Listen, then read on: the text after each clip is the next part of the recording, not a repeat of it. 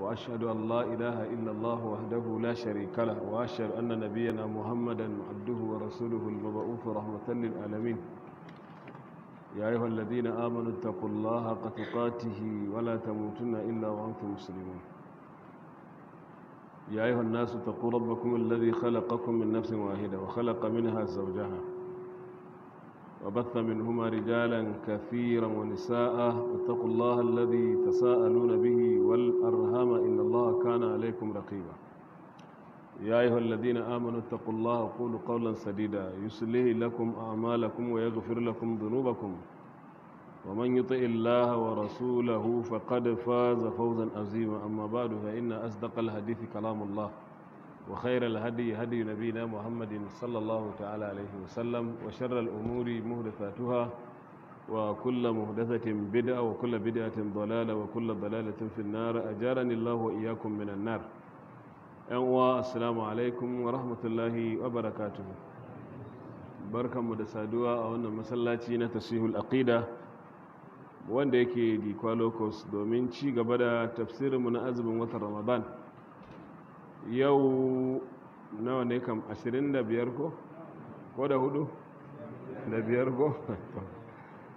25 shekara na 1442 hijiran manzan Allah sallallahu Alaihi wasallam daga makka zuwa madina wanda ya daidai da bakwai ga watan biyar shekara na 2021 miladiya muna cikin suratu ali imran kuma da idan Allah ciki za mu tashi kafin da akwai tambayoyi kamar haka ba su wuce ɗaya zuwa biyu. Mai tambaya na farko na cewa malam tambaya na shine kullum idan na je sallar kiyamun laili ina cikin sallah sai bacci ya kama ni. Ba na samun sallar asuba kullum. Idan na tafi sallar dare malam ya zan yi wani irin addu'a zan yi?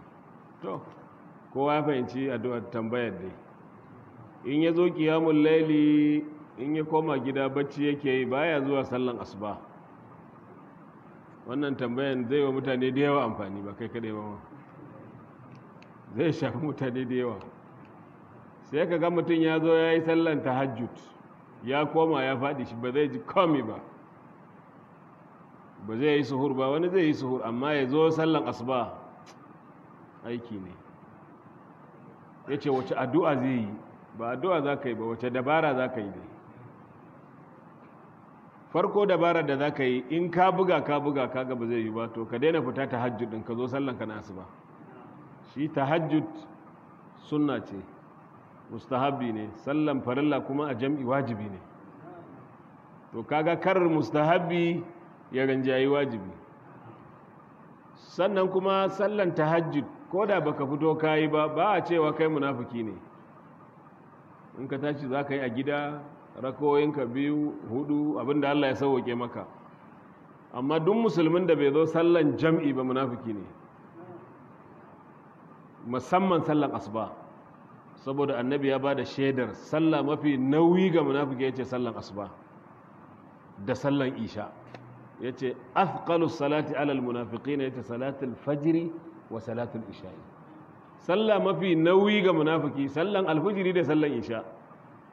To kaga baka iya fita sallan alfujiri ba saboda tahajjud ya katse ka. To kana bawa kanka shaida yanzu kai munafiki ne. Annabi ya ce law ya'lamuna ma hima da sun san ladar da yake cikin sallan asuba. Annabi ya ce la atawhuma walau habwan. Ko da a rarrafe ne manzan Allah ya ce sai mutum ya zo masallaci. A ɗauke ka ka faɗa. A ja ka manzan Allah ya ce da sai ka zo masallaci. To kaga wannan na nuna mana cewa sallah yana da muhimmanci. Abu na biyu manzan Allah a masallacin shi ya ce da ya yi niyya a tada hikama ya ce wani ya yi mana sallah zai nemi waɗansu ƙarti majiya ƙarfi cikin sahabbai a ji a nemi itace a je duk gidajen da waɗanda ba sa zuwa sallah a ƙona gidaddakinsu annabi amma sai tana akwai mata da yara ƙanana. Abin da in baka zo sallah ba annabi ya yi niyya zai ƙona gidarka ya yi niyya zai sa gobara gidanka saboda haɗarin da kake ciki na zamne. To ‘yan uwa musulmi sallah babu abin da ya kai shi sallah babu abin da ya kai shi muhimmanci bayan tauhidi. Saboda haka ko yanzu da muka so masallan tahajjud sallan asuba ya ragu ƙwarai da gaske goman ƙarshen kun lura masallaci ya ragu ai. Bayan bayan bayan an sha ruwa kuma an yi sallah an yi sallan idi zaka ga raguwan ya sake raguwa ya sake raguwa. Kashi uku kashi ɗaya da za zo sallah. Mafi nauyin sallah akan munafukai sallar isha da sallan asuba. Babu abin da ya kai sallah muhimmanci. Dubi duk tarihin musulunci. Kowane irin doka daga Allah annabi kawo mushi ake amma sallah zuwa ya karɓa ya je sama na bakwai aka iyakance inda annabi zai tsaya. Annabi Allah ya bashi sallah hamsin lokaci hamsin. Annabi ya sake dawowa sama na shida wajen annabi Musa. Annabi Musa ya tambaye shi ya ce me Allah ya faralta wa al'ummanka? Ya ce sallah lokaci hamsin. Ya ce ka koma ba za su iya ba. Ya ce irji ila rabbika fas'alhu takhfif fa inna ummataka la yutiquna. Koma ka nemi sauƙi al'ummanka ba za su iya ba. Annabi ya koma gun Allah ya ce ya Allah ya rab sallah lokaci hamsin al'umma na ba za su iya ba. Allah ya ce to na rage arba'in da biyar ku je ku yi biyar. Duk rahamar Allah. Kai in ba Allah ba waye a cikin hamsin zai rage arba'in da biyar? Rahama irin ta Allah. Annabi ya ƙara zuwa gun annabi Musa ya ce har yanzu ka nemi ragi fa za ka samu fa. Annabi zai koma Allah ya ce a biyar da na faɗa ma hamsin ɗin farko za ku yi. Kowane sallah biyar biyar ina ba da lada goma goma goma goma biyar nawa? A zahiri muna yin biyar a wajen Allah kuma sallah hamsin ne. Annabi ya karɓo sallah ya zo ya hau kan mimbari ya tara sabansa ya nuna musu ga yadda ake yin sallah. Ya ce sallu kama aitumuni usalli. Ku yi sallah kamar yadda kuka ga ina yi. Annabi ya ce farkon abin da za a binciki mutum ranar tashin alkiyama cikin aikinsa sallah. Da aka zo kiyama kawai farko kana hayya hayya za ku ce a tsaya. Kowa a dubi sallan shi.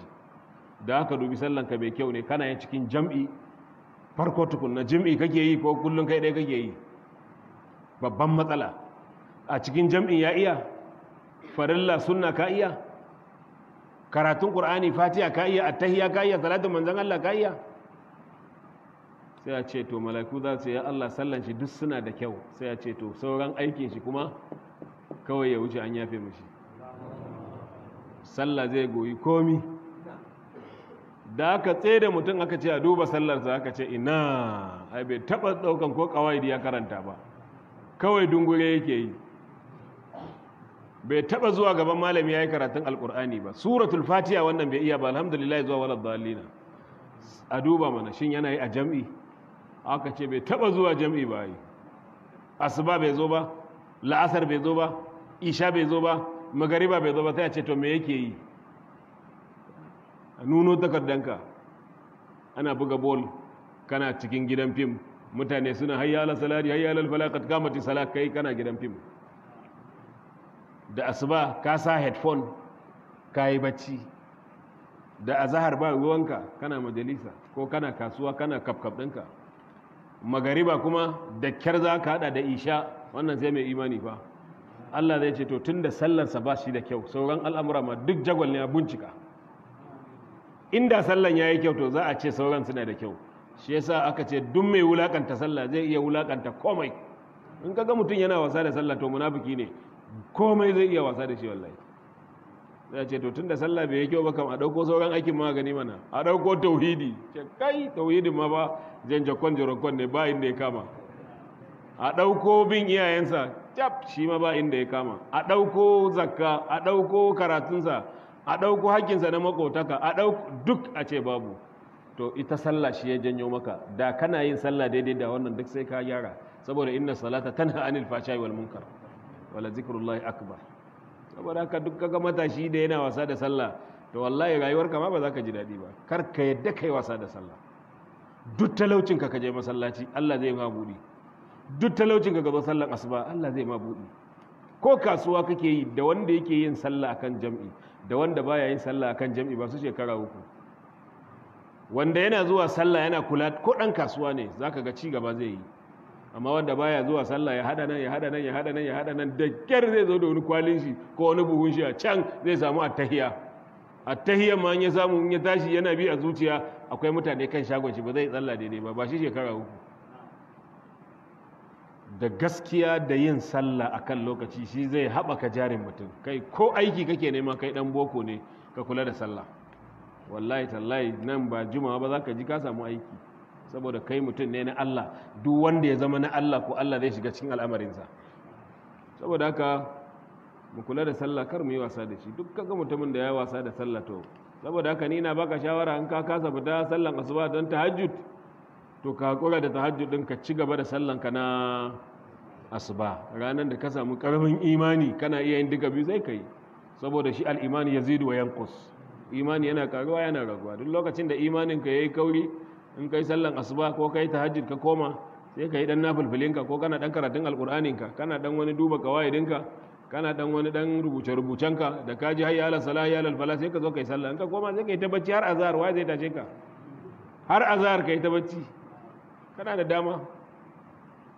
Allah sa mu dace. Saboda haka duk mutumin da wanda ya tambayan nan ba shi kadai ba ne wani yana nan yana ji shi ma ya tabo shi. Amma ba mu san shi ba Allah ya san shi. Wani zai ce wannan tambaya kamar da ni ake yi. Akwai su da yawa wallahi. Eh aka ga gayu a sahun gaba amma an ka zo sallan asuba ba sa nan. Da yawa kamar da su ake yi. To Allah babu iko. Allah samu jara wannan ya ce malam a kowane masallaci ana tara taimakon gidan yari amma me yasa ba a tara a wannan masallaci? Kun fahimta? kowane masallaci ana tara taimako akwai gidan firzina. Me yasa ba a yi a nan? Kowa ya ji? Kuna da amsa? Ba ku da shi ni zan ba ku. To masallatan da suke yi kaf a garin nan masallaci biyu ne masallacin indimi da masallacin dagashi wanda masallacin indimi sheikh jafar mahmud adam ya assasa kuma har yanzu bai mutu ba dr muhammad alhaji abakar yana tafiyar da wannan aiki. Kuma masallacin indimi cikin gidan furzuna da ake zuwa tun da aka fara har malam jafar yana raye har yanzu ni ina cikin wanda suke zuwa. Kaga na balle na ce ni ma zan zo tara in kai kaga ba mu yi adalci ba. Ni wannan shine hujja na saboda a masallacin indimi ba a zuwa gidan yari sai na ina wajen. Ko da na yi tafiya lokacin da nake fita tafsiri taraba wani lokaci za su tuntube ni in ban zan zo da wuri ba za su tafi. Wani lokaci su tafi wani lokaci bayan na dawo daga tafsiri ma mu tafi gidan firzina ko mu je maximum ko new prison wani lokaci dukkan muna zuwa. To kaga ina wancan kwamiti muna tafiya. Ba shi kenan ba? Aikin alkhairi in a wani waje kana yi a wani waje kuma sai a zo a yi wani abu. Muna tafiya maximum kuma duk lokacin da muka tafi muna tafiya musu da kasusuwa na wa'azi na malamai. Musamman na dr muhammad alhaji abakar kullum mun tafi sai sun tambaya. Wani lokaci zai sa a masallaci a yi rekodin a kai musu. Wani lokaci su nemi nawa in kai musu wani lokaci su nemi dvd wani lokaci su nemi tv wani lokaci su nemi janareta muna faɗa wa mutane suna taimaka musu. To duk abin da muke yi a can kuma kaga da nan da can ni duk ɗaya ne a wajena. Tunda a can shi ma ginshiki ne nan ma ginshiki ne. Ina fata an fahimta. To bai kamata a matsayina mu zo mu sake cewa a masallacin taswil aqida za mu kai gidan yari. Ranar da muka tafi da masallacin indimi za su tafi mu ma muka tafi muka je muka yi karo. Kaga me zai zama? Aikin ya rabu kuma karfinmu zai zai rabu. Shi yasa kullum ana so aikin addinin musulunci mutane su tsaya in wani ya kama nan kai ka kama nan. Yanzu akwai abubuwa da yawa da mu muna yi na marayu da sauransu. Wani waje ba sa yi in mun tashi su ma su zo su haɗu mu yi. Kaga wannan ci gaba ne. Amma ana ganin ya kamata akwai ababe da yawa da ya kamata mu yi. Ba gidan yari ba akwai ababe da yawa da ya kamata mu yi. To amma ganin yanayin wajenmu ba komai ne za ka zo ka lafta mutane ba. Yanzu ma tangal-tangal muke tafiya. Saboda da zarar yanzu ka so mu ɗaura wa mutane nauyi wasu yanzu za su watse. Musamman mu masallacin nan taimakon Allah muke tafiya don ba mu da kuɗi a aje ba mu da kuɗi a ƙasa sai a hannun mutane muke bara kobo toro kobo toro kobo toro kobo a zuba mai a sayi lasfika a yi wane ne a sallami wannan a sallami wannan. To amma masallatan da na irga maka ba duk suna da masu shi masu ɗaukan ɗawainiyar su fa. Kai ka san bajet ɗin masallacin inda na shekara ɗaya kuwa? Ka sani? Ka san bajet ɗin masallacin da gashi na shekara ɗaya kuwa? Ka sani? Kaga ba za ka haɗa masallacin indimi da da gash da kuma nan masu bara da roba a hannun yan agaji amma duk da haka ba mu raina kanmu ba duk aiki na alkhairi in mun fara kuma yana tafiya. So ba mu da mutum guda ɗaya da za mu je mu ce masa ba mu miliyan ɗaya. Ba mu miliyan biyu ba mu miliyan uku. Wayanda suke tsayuwa suna aikin addinin musulunci a nan wajen akwai masu hali ɗin amma komin halinka dai kullum ana ce ba ni ba ni ba ni abin za ka gaji. Kuma da wannan kwamitin masallacin nan sun fi mutum arba'in duk sun gudu. Illa kalilan da muke da su. Kalilan ɗin kuma allah ya taimake su sun tsaya gashi ba su da shi. Amma wallahi saboda ƙarfin hali da tauhidi ba su ja da baya ba. In an ce a bayar ɗin kuma za su bayar. To in muka zo muka zake lafta musu wani aiki mu ce na marayu na gidan yari na waye-waye na waye aikin zai musu yawa. Bayan wannan tafsirin in an gama kuma akwai karatu da ake kashi huɗu ko kashi biyar. Ga tahajjud ga tarawih ga sallan juma'a ga wane ne wane ne kowa yanzu da kaji ana cewa ana neman taimako fi sabila to kaji kaji yan izalan nan. Yawan neman taimakon su. Haka ne ba? To mutane ne ba su bayanci addini ba. Duk abin addinin musulunci yana tafiya ne da taimako. Ko masallatan nan da na lissafa maka budget ɗinsu yana da kyau amma suna bara a masallaci su ma. A hannun yan agaji suna yawo da roba. Wannan ba kaskanci ba ne. Wannan ana buƙatar kowa ya zai sa hannun jarinsa ne. To amma yanzu sun gaji ana cewa a taimaka fi sabilillahi ramadana ya kusa za mu yi kaza kaza. Ci to an fara fa. Wani ya jefa biyar wani ya jefa hamsin wani ya jefa kaza. Muna son mu yi program da yawa amma masu taimakawa ne kaɗan. Akwai program da da muna son mu yi. Har empowerment muna son mu yi. To amma ina kuɗin yake?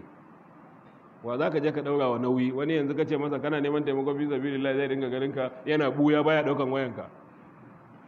To ba gwara ka bar shi shi ma ya zaman ka ba kai ma abin da Allah ya sauke maka sai ka yi ta yi din. Tunda kowa ya sani Allah ya san abin da muke ciki. Saboda haka wannan shine dalilin mu ba wai ba mu sani ba ne kuma ba mun ki ba ne amma shi wanda ya tambaya yana son ya taimaka wa gidan yari lokacin da zai tattauka kayan shi da kulikulin shi da garin kwakin shi in za ta tafiya masallacin indimi zai mu gaya mushi ya kai can din. Ina fata an fahimta. Kuma bana ma ina ganin ba su samu daman zuwa gidan yarin ba ma saboda duk gidan yari bana an hana shiga. Duk farzin yanzu ba a shiga saboda covid-19 Allah samu dace. To mai Allah ya ce? أعوذ بالله من الشيطان الرجيم. بسم الله الرحمن الرحيم.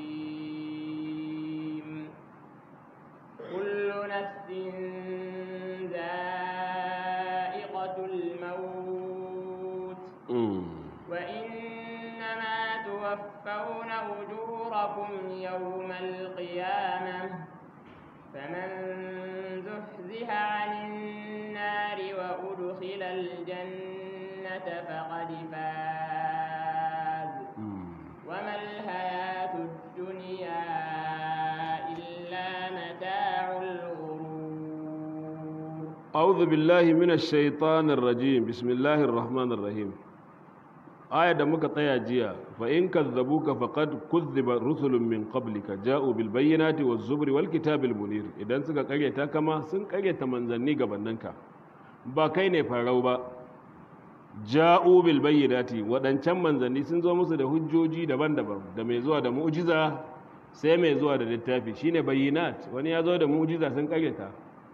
da mu'jiza sun zo da littattafai wal kitabil munir da kuma littafi mai haskawa littafi mai gamsarwa sai Allah ya ce kullu nafsin za'iqatul maut duk wani rai sai ya dandane mutuwa kullu nafsin za'iqatul maut kowane rai mutu wanda zai saura shine Allah wa yabqa wajhu rabbika zul jalali wal ikram kullu man alaiha fan in ka zo duniya ka ɗauka kai mace ce ne yanzu muna jin daɗi muna cewa azumi yau 25 ko hadda na ce da huɗu wani ya yi gaggawa ya ce da biyar ne. Ta kwanan mu ne yake karewa fa. Wallahi muna jin daɗi yanzu mu je mu yi sallan idi mu zo mu yi ta cin abinci. Amma kwanan mu ne yake karewa ka sani. Azumi kam shi koyaushe yana nan ai. Amma kwanan mu ne yake karewa. Kuma kullu yaumin mada yudni min alqabri. Duk lokacin da ya wuce fa yana kai ka bakin kabari ne. Kar ka ji daɗi wallahi. Ai yanzu ka girma ka balaga kana wani bubbudewa kana kusantan kabari ne kuma ba duk lokacin da ka wuce ba zai dawo ba ya tafi. Yanzu yau juma'a ne 25 ga watan ramadan shekara 1442 ba zai sake zuwa ba in ya wuce yau zai je jira mu a kiyama. In wani ramadan ya zo ba wannan ramadan ba ne wancan ya tafi yana nan yana jira shi ma bawan allah ne. To kullu nafsin za'iqatul maut kowane rai sai ya dandane mutuwa. Ba wanda ba zai mutu ba babba ne ƙarami ne kowa sai ya mutu. Tunda Allah subhanahu wataala ya ce afa in mitta fahumul khalidun? Yanzu kai in ka mutu su za su dawama wama muhammadun illa rasulun qad khalad min qablihi ar-rusul. Afa in mata aw qutila qalabtum ala aqabikum? Wa man yanqalibu ala aqibihi falan yadurra la. Tun yanzu ka soma shirin ka na gyara gidanka na lahira. Tun yanzu ka soma shiri saboda baka san yaushe ne zaka mutu ba. Tun yanzu fa. Ka soma shiri ka gina aqidarka ka gina mu'amalarka ka gina addininka akan mu'amala mai kyau. Allah ya ce wa inna ma tuwaffawna ujurakum. Ku sani dai za a cika muku ladanku yawmal qiyamati ranar tashin alkiyama. Duk abin kai za a cika maka. Wa man ya'mal mithqala dharratin khairan wa man ya'mal mithqala dharratin sharran yara. Duk wanda yayi aikin kirki zai gani wanda yayi aikin sharri kuma zai gani. Yaya za ka yi kai aikin kirki? Ka bi Allah da manzon Allah. Ranar tashin alkiyama shine sai a cika maka aikin ka na bin Allah da bin manzon Allah. In koma bayan wannan kai shi ma za a cika maka. Shi Allah ba zalimi ba ne duk abin da kai in baka nemi gafara ba sai Allah ya zo maka da shi ranar tashin alkiyama. Wa inna ma tuwaffawna ujurakum yawmal qiyamah za a cika muku kamili. Babu yanda za a yi ka zo gaban Allah ka ce ya Allah abu kaza da kaza da na ya Allah ban gani a mizani na babu shi. Allah baya mantuwa. Makana rabbuka nasiya. Faman zuhziha anin nar wanda aka nisantar da shi daga wuta wa udkhilal jannata aka shigar da shi aljanna Allah ya ce faqad faz da hakika ya rabota. Me muke nema yan uwa? A nisantar da mu daga wuta a kai mu aljanna. Ba shi muke nema ba? To wannan ɗaya daga cikin aikin da zai nisantar da kai daga wuta manzon Allah ya ce azumi. Man sama ramadana ko man sama yawman fi sabilillah zahzaha Allah waj'a an nari 70 kharifan ka yawaita azumi in kana son Allah ya nisantar da kai daga daga wutar jahannama man sama ramadana ba ramadana ba kai kowane irin azumi ko na nafila azumin litinin da alhamis azumin ayyamul bid a kowane wata za ka yi guda uku uku ranar sha uku da sha huɗu da sha biyar azumin arafa azumin sita shawwal. In kai maji ƙarfi ne kai azumin irin na annabi dawud. Kana ya sumu yauman wa yuftiru yauman annabi dawud da yau zai azumi gobe zai ci abinci. Har haka za ka mutu. To za a nisantar da kai daga wutar jahannam. Annabi ya ce man sama yawman fi sabilillah. Duk mutumin da ya azumi kwana ɗaya domin Allah zahzaha Allah kaga ana an ce fa man zuhziha a wani hadisi ba'ada Allah wajhahu. Allah zai nisantar da fuskarka saba'ina harifan tafiyan shekara saba'in. Yanzu tafiyan shekara saba'in tsammanin ka daga nan in ka soma kana tafiyan kafa shekara saba'in ina za ka je? Za ka isa ina? Da kafa dai ka lissafa. Daga nan ka ce za ka yi tafiya ka ɗauki guzurinka.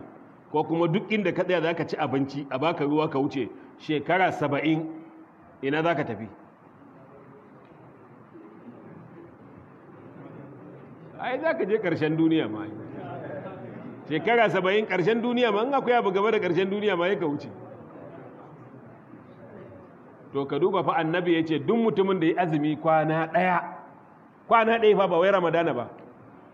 To yanzu mu ɗauka watan ramadana ɗin nan kowane kwana ɗaya za a nisantar da fuskan mutum daga wuta tafiyan shekara saba'in. Ishirin da nawa muke yi? Da tara. Mu ce ma da tara kawai kar mu ce da talatin. Kowane rana shekara saba'in saba'in so ashirin da tara nawa ne? Dauki kalkuleto ka buga. A kwana talatin ɗin ko ashirin da tara za a nisantar da fuskanka saba'in saba'in saba'in saba'in saba'in so ashirin da tara. Wani ya buga nawa ne? Ba mathematics ne a nan ne? Dubu nawa? Dubu biyu? Da talatin za a tafiyantar da fuskanka a ramadana ɗaya tafiyan shekara kwana dubu biyu da kwana talatin. Shi ne kake ji ana cefa man zuhziha anin nar wanda aka nisantar da shi daga wuta. Wa udkhilal jannata aka shigar da shi aljanna Allah ya ce faqad fas. To ya rabauta. Akwai rabon da ya wuce wannan? Mun baka likeci da za a nisantar da fuskar ka daga wuta shine azumi. Na biyu manzon Allah ya ce shine rashin hasada. Ka cire hasada cikin zuciyarka. Za a nisantar da fuskar ka daga wuta. Kar ka zama mai hasada. Duk abin da dan uwanka ya samu ka ce tabarakallah kai ma Allah zai baka. Kai wa dan uwanka addu'a. Malaika yana nan a bayanka zai ce walaka mislahu. Kai ma an baka kwatankwacin shi. To in kana da hasada duk zai ci aikinka. Manzon Allah ya ce iyyakum wal hasada fa innal hasada yakulu al hasanat kama ta'kulu an-naru al-hatab ina yi muku hatara da hasada fa. Hasada yakan ci ladan mutum kamar yadda wuta yakan ci itace. Wani bawan Allah ana zamne a majalisin manzon Allah sallallahu alaihi wasallam. Shi ba komi ba ne ash'asa aghbara. Kayan shi ba mai kyau ba. Kan shi gashi nan duk ba kum. Ya ya zamna gefen masallaci a can. Ba ma wanda ya san shi. Ba cikin sahabbai mai girma ba. Baya cikin khulafa'ur rashidun baya cikin wanda sun halarci yaƙin badar baya cikin wanda ya je yaƙin uhudu. Wani kan jalaye. Ya zo ya zamna da dan jallabiyan shi ma ya tattara ya zamna haka. Yana jin maganar manzan Allah. Manzan Allah ya ce wani dan aljanna ya shigo muku ta nan da aka juya shi ne. A kowa? Ya ce wannan dan aljanna? Shi ba komi ba ba. Bai je badar ba bai je uhud ba baya cikin hulafa'ur rashiduna. Dan aljanna ka duba. Annabi ya bashi lasisin shi dan aljanna ne. Allahu akbar. Aka ci gaba da karatu. Washe gari ma ana cikin karatu can ya zo letti annabi ya ce wani dan aljanna zai shigo mutumin jiya din ya shigo. Eh koma gefe ya zamna. Ash asa aghbara. Na uku annabi ya ce wani dan aljanna zai shigo muku yanzu nan shi din ne zaka shigowa. Wani sahabi ya ce to wannan mutum me yayi ya zama dan aljanna ne? Bari ni ma sai na je na yi kofiyin halayen shi in zo in yi. Shi mai faɗin haka shi ma dan aljanna ne fa amma garanti ne bayi da shi. Da abin da baka da garanti da wanda yake da garanti ai daban ne. Yanzu ai mun ji daɗin shi ɗan aljanna ne. Mu ba za mu shiga ba? Ba mu da garanti ne amma muna tsammani. Shi wancan an bashi lasis. Wani sahabi ya bi shi gida ya ce bawan Allah an kore ni ne a gida wallahi ba da wajen kwanciya da Allah ka taimaka mun samu wajen kwanciya a wajen kamar ya ce a wannan mai sauƙi ne je nuna mara ɗakin shi ba komai sai tabarman shi ɗaya. Ya ce mu yi mu juya tabarman mu kwanta kafan mu su zama su taba ƙasa. Kamar da gaske ba kawai sai ce to da daddare ka zo. Suka zo suka shiga daki suka kwanta ya kama bakin tabarma ya ce sakanka a nan neman sakai na a nan kafan musu yi kafa ƙasa. Aka dinga bacci malam. Kasan wanda ba da hasada baccin shi mai kyau zai to ba ka da damuwa.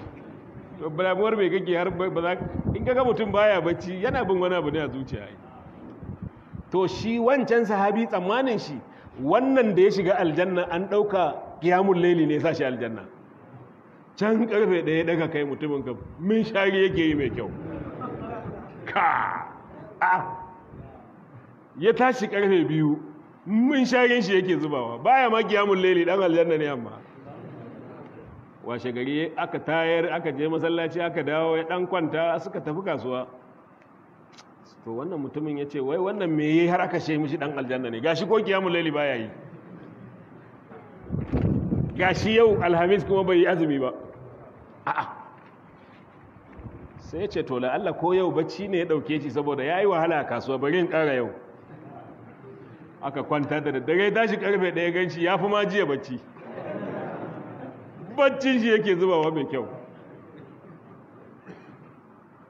Washe gari ma ya ce to wannan bawan Allah ko yau ma bacci ne ɗauke shi bari in sake bin shi yau.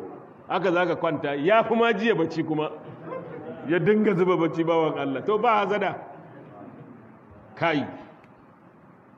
Sai ya ce to bawan Allah assalamu alaikum. Don Allah zan gaya ma wani abu ɗaya amma kar ka ji nauyi. Ni dinan da gaga na zo na kwanta a nan wallahi ba kora na kai ba. Kawai ina so in ga halinka ne cin wani aiki kake? Annabi ya ce kai dan aljanna ne. Annabi ya ce ni dan aljanna ne shi ma bai sani ba ba ni dan aljanna. Kaman baka yi tsammani ba aka baka bayan kalanka zai tashi yayi kaman kana yawa cikin kasuwa ka ce an baka tiket na chairman na local government ya zaka ji? Da yawa an ba su haka kuma sun zo sun zamna. Aka ce da shi shi dan aljanna ne. Ya ce dan Allah bawan Allah me kake a rayuwanka wanda har annabi zai ce kai dan aljanna ne?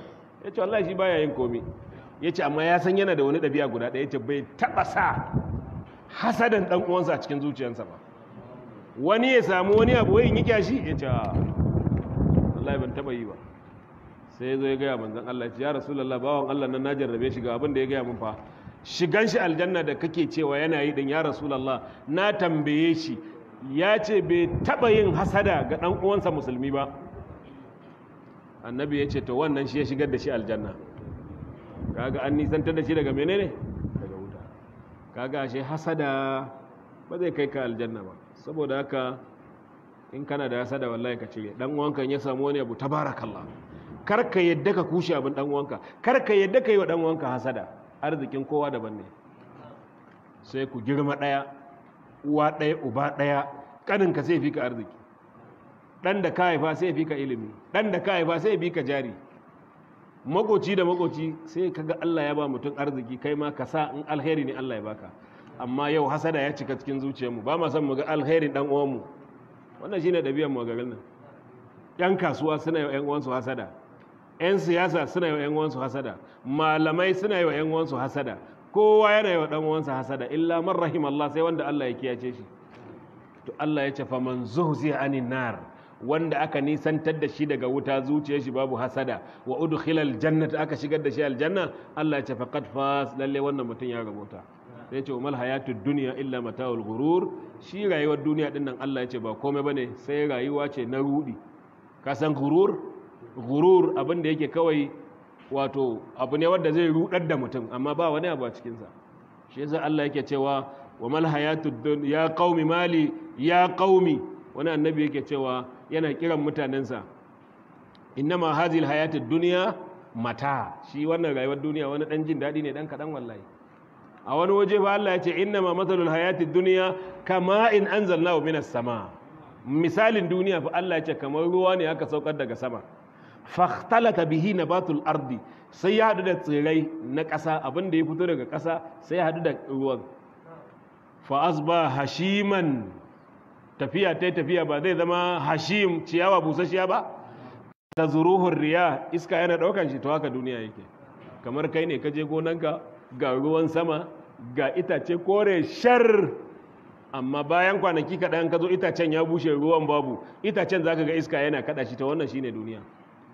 a wani waje ma Allah ya ce innamal hayatud dunya la'ibun wa lahun wa zinatun wa tafakhurun bainakum wa takathurun fil amwali wal aulad. Kamathali ghaythin ajabal kufara nabatu thumma yahiju fatarahu musfarra. Allah ya ce misalin duniyan nan ba komai ba ne innama masalul hayatud dunya kamasali Allah ya ce kamar misalin menene duniyan nan? Lahawin wa la'ibun. Menene lahaw wasa. Ko lahaw wargi. La'ib wasa. Kamar mutane 21 ne suke yin bol ko? Ko mutum nawa ne? Duk kun sani ai. 21 ne ko da biyu? Da biyu. Waɗannan 22 su ne la'ib ɗin. Masu kallon kuma su ne lahau ɗin. To haka duniya yake. Ga mutum 22 yanzu da la'ibun da lahau ɗin suwaye suka fi yawa? Masu kallo sun fi yawa mutum goma sha biyu ko 22 amma za su ɓata mutum miliyan biyar lokacin sallah. Haka ne? Lokacin da ana wani ƙwallon kafa duk duniya ba ana kallo ba? Kar ka ɗauka nan ne Najeriya ba. Najeriya a nan ma kuna kallon bol ne. Ka je ƙasar Larabawa inda ma Qur'ani ya sauka. Ba shine cibiyar musulunci ba? To wallahi yanzu yaran wajen ma Allah ya jarrabe su. Yaran wajen ma Allah ya jarrabe su. Jaraban bol haka duniya duk bol ta ci su. Ranan da za a yi buga wani babban champion mutum nawa za su bar sallah? A ce tim ɗin kana so ko madrid ko barcelona ko wane ne ko manchester mutum nawa za su bar sallah tsakani da allah? Duk duniya kuma ana kallo ba kai kadai ba ne. Kai da naka ma kana kallo a cikin bola ana muku ihu. Ka je ka ga ana kallon bol cikin ni'ima cikin daɗi. Kai da ya ka biya kuɗi wani yana hura ma wiwi wani yana ma tusa. Kai da ba bol ɗinka na talauci na matsiyata. Larabawa ka je ka duba malam. Kai in ka je aikin haji ba mun je za mu shiga ce wani jago ni da ina gaba babu ne sai wani ya tambaya ya ce hal arabta Muhammad Musa? Ai hal arabta Ahmad Musa? Yana nufin Ahmad Musa dan Kano nan wanda ya je Super Eagle wannan. Sai babu ya ce ana arifuhu shi ya ɗauka ko wani dalibin da ya gama daga jami'ar Madina. Ya ce ana arifuhu man huwa kaza kaza. Nace ha? Nace ha ba kai shak. Ahmad Musa guljin da noni mai ya ce Ahmad Musa bolma da dai sori ya ce Ahmad Musa dan ƙwallon yake tambaya fa ba wai wancan ba fa. Haka yan gaje balarabe zai ce maka Ahmad Musa. Saboda ya yi fice. Su yanzu balarabe in ka je sayan shagonsa inda za ka irga masa 'yan ƙwallon kafa guda biyar to ka sayi hankalin shi. Wani ya fi ka sauke masu izu biyar a shagon wallahi. Da ka kama mashi sunan 'yan ƙwallon kafa ka tada hankalin shi a yi. Zai shiga ya fita ya kawo ma ruwa ya zama ya ce izili izili izili izili zamna. To haka jaraban bol ya ɗauki larabawa balle 'ya'yanmu yanzu ma ba su da aiki. Mutum bai san ma ba yi da shadul kowa ya tashi da safe ba ka da shadul dare ba ka da shadul to waɗannan mutum ashirin da biyu ɗin sun ɓata wa mutum miliyan goma lokaci. To wannan shine misalin duniya. La'ibun walahun sai Allah ya ce wa zinatun kawa ne kawai. Wannan ya ɗauki kwalliya wannan ya gyara gida wannan ya sai takalmi wannan ya sai agogo. Wani lokaci duk sai kaga mun koma ga Allah. Allah ce wala qad ji'tumuna furada kama khalaqnakum awwala marra wa taraktum ma khawwalnakum wara'a zuhurikum. Allah ya ce za ku zo mana ɗaya bayan ɗaya ɗaya. Kamar yadda muka halarce ku ɗaya ɗaya. Ai nan duk ba tare aka haife mu ba. Kowa ɗaya zo duniya haka za mu tafi lahira ɗaya ɗaya. Yau mu kai wannan gobe kai wannan jiba kai wannan gata kai wannan. Allah ya ce wa taraktum ma khawwalnakum. Duk abin da muka baku na arziki Allah ya ce za ku bari ku dawo. In kai ka gada ne gun babanka kai ma dai wa taraktum ma khawwalnakum. Kai ma za ka bari. Dan da ka barwa shi ma wa taraktum ma khawwalnakum. Shi ma an ya bari dai wa taraktum ma khawwalnakum. Har Allah zai zo Allah zai gaji abin da yake sama da ƙasa da abin da yake cikin ƙasa duka. Wallahi kan rayuwar duniya ya doge ka. Kawai ka bi Allah. Duk abin da kake gani a duniya wallahi kyalli ne. Annabi ya ce a duniya mal'una. Sai ce mal'unun ma fiha illa zikrullahi wa ma wala. Duniya la'ananniya ne. Sai ambatan Allah. Wannan abin da muke shine ba la'ananniya ba. Sai ambatan Allah. Sai ce illa alimun wa muta'allimun. Sai malami da mai koya. To in kai kana karatu kana ciki. In kana karantarwa ku ne wanda Allah yake so banda wannan duk duniya Allah ya tsine musu. Saboda haka duniya ba abin nema ba ne. Annabi sallallahu alaihi wasallam ka duba fa. Annabi sallallahu alaihi wasallam inda zai yi addu'a a zamar da dutsen tsafa ya zama zinari zai yi amma annabi baya so. Amma haka annabi zai kwana 20 30 bai ci abinci ba. Gidan manzon Allah wata biyu ba ga wuta ba banda dibino da bakin ruwa. Yau duk cikin mu ɗin nan a ce sati uku ba mu ci abinci a gidanmu ba ai sai hankalin mu ya tashi. Ba tafsiri ba ko azumi wani sai ya je wallahi. Haka kuma sahabbai suke yin azumi da bakin ruwa da dibino yau waye zai ci dibino yayi suhur? Waye zai ci dibino yayi buɗe baki? Yau kankaran baka saba ba hankalinka ya tashi. Wata biyu ba su taba koshi ba sahabban manzon Allah. Wani riwaya ma sai da aka je yaƙin Khaibara aka samo dibino aka soma koshi ummina aisha ta ce tun da take madina ba ta koshi ba ai maka ba su koshi ba sai da ta zo madina ta zo cin abinci ta koshi yau wace mata za ka auro amarya ka zo ka aji a gida an jima ka sayo mata dibino da fiye wata guda biyar ki ce wannan shine abin da muka gada daga wajen sabon manzon Allah sallallahu alaihi dan Allah jama'a za a samu?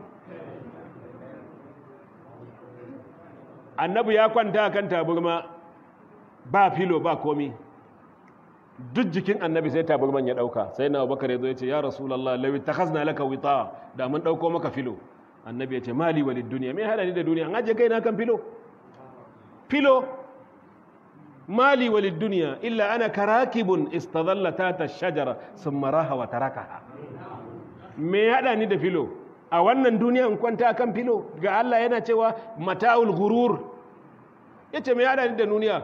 Kamar mutum ne fa mai matafiyi. Da ya zo wucewa ya samu ƙarƙashin wata bishiya da ya zamna ya huta kuma ya tashi ya tafi. Ba haka duniya yake ba? Karakibun istadallata ta shajara sun maraha fatarakaha filo manzan Allah baya ajiye kansa bai sa duniya ba. To yau tsakani da Allah haka muke rayuwa. Ba wai laifi ne mutum ya samu abin duniya ya ji daɗi ba ba a in ba mu samu waɗin amma hankalinmu zai tashi. In ka samu kuma nima ne na Allah. Allah subhanahu wataala yake ce mana lalle rayuwar duniya ba komai ba ne. Mata'ul ghurur rayuwa ne na rudi. Kar duniya ya yaudare ka wallahi. Fure ce kawai ba ta yin yaya.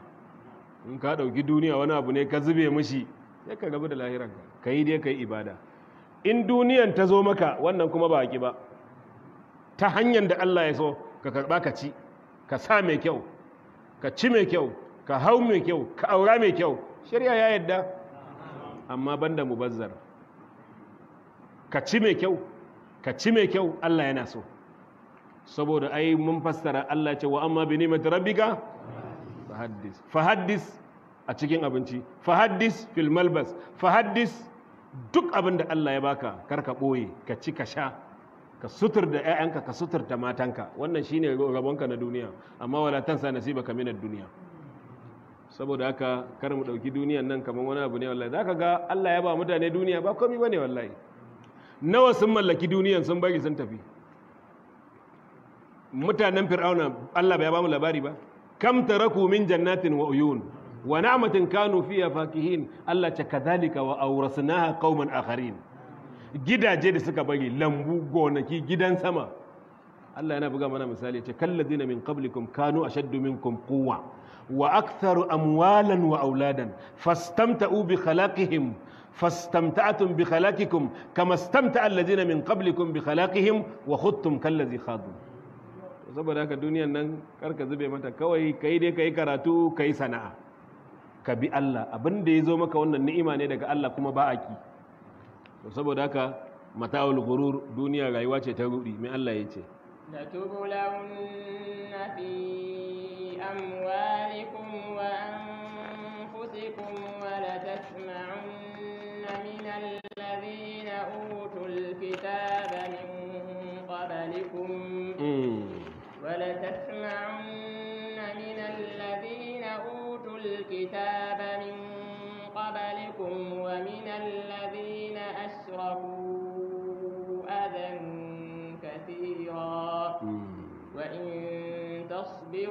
وتتقوا فإن ذلك من عزم الأمور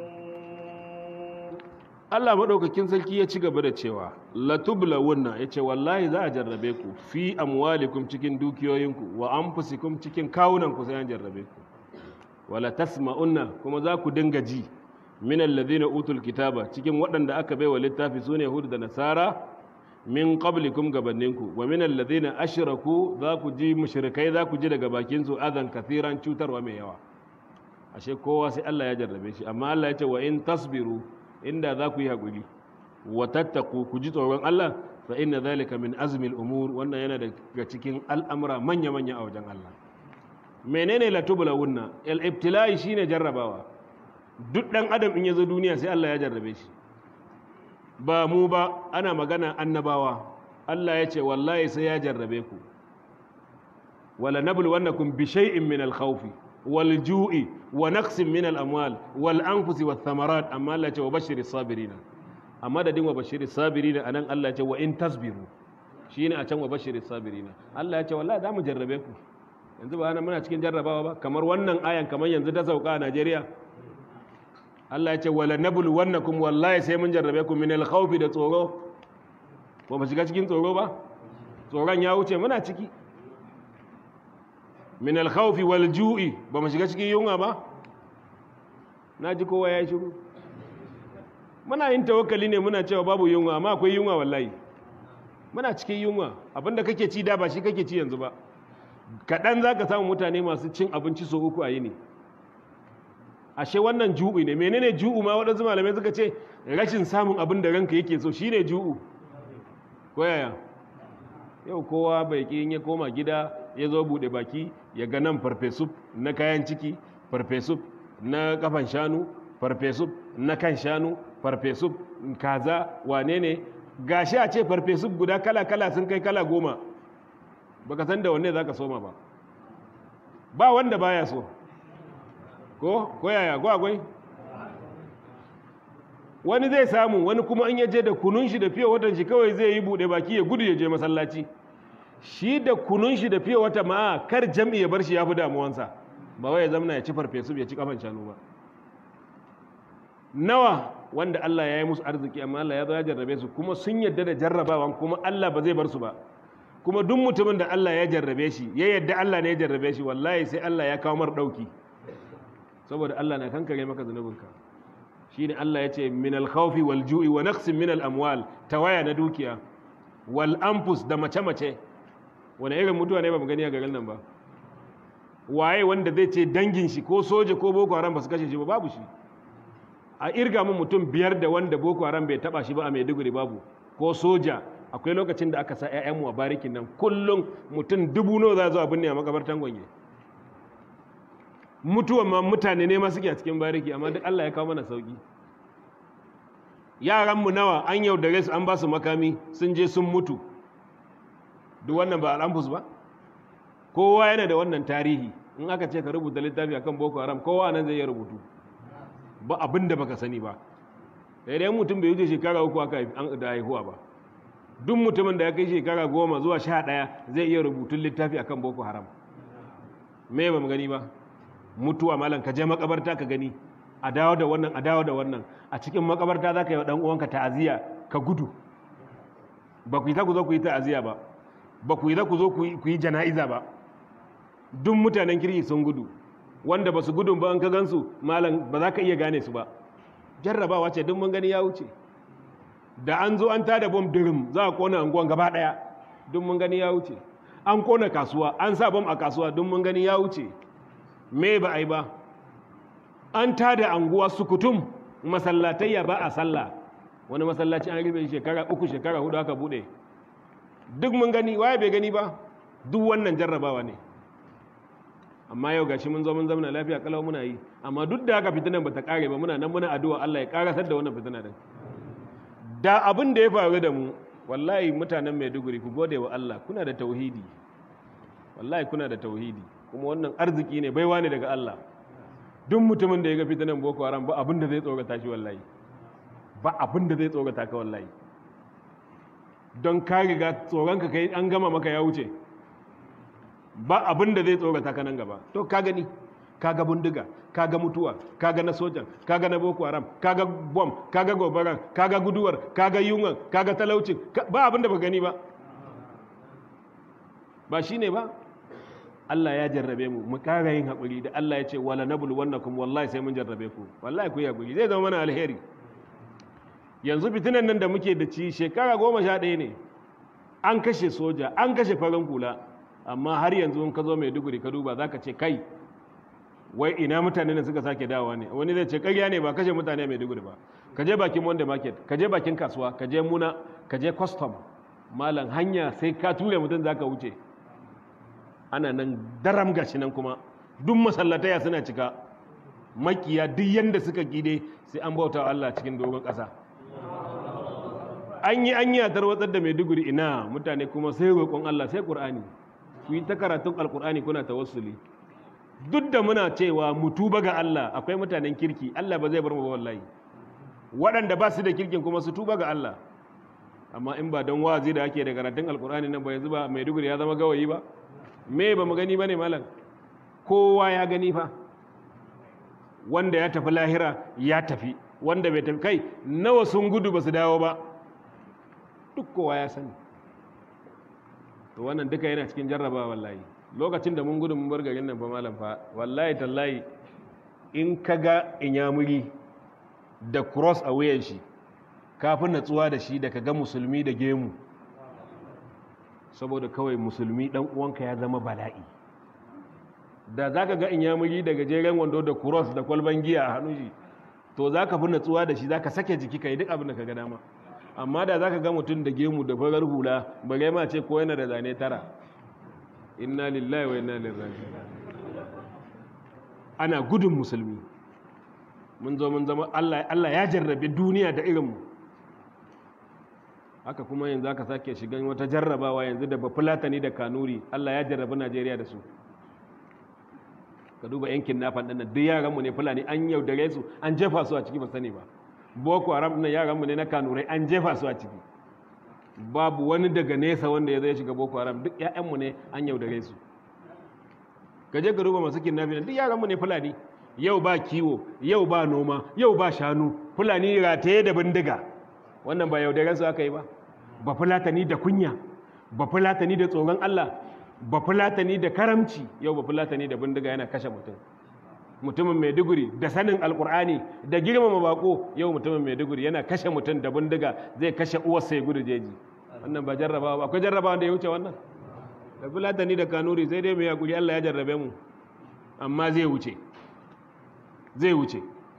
Wallahi tallahi zai wuce. In kana ba fulatani ne ka yi haƙuri in kana kanuri ne ka yi haƙuri ni ba ba fulatani ba ne ni kanuri ne amma dole mu faɗa wa kanmu gaskiya. Wannan shine zance mafi gaskiya kawai.